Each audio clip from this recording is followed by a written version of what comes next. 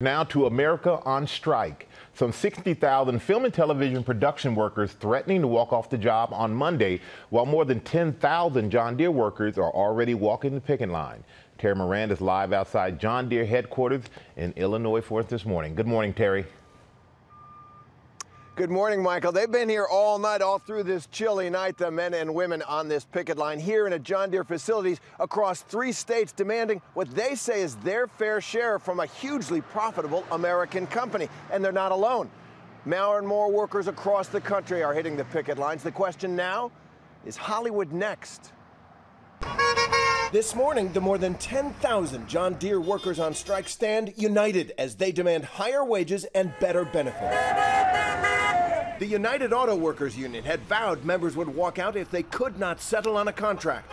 And now the pressure is on John Deere as the company that builds those iconic green tractors sees its first major strike in three and a half decades.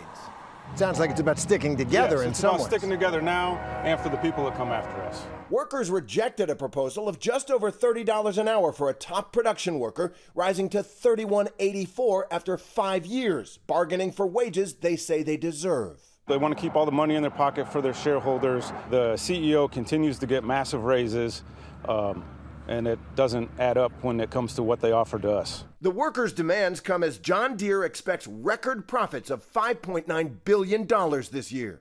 We are seeing workers standing up and exercising their power collectively to fight back against corporations who aren't sharing that wealth that workers have helped create. And unless concessions are made in Hollywood, there could be more economic fallout. The union representing 60,000 film and TV workers, from costume designers to audio technicians, warn its members are prepared to strike on Monday. If that strike goes forward, it could halt film and television production across the country. Another sign of the rising spirit of activism and solidarity in the American labor movement. George? Terry Moran, thanks.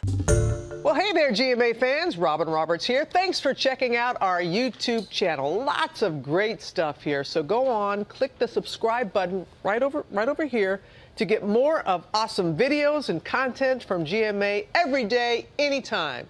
We thank you for watching, and we'll see you in the morning on GMA.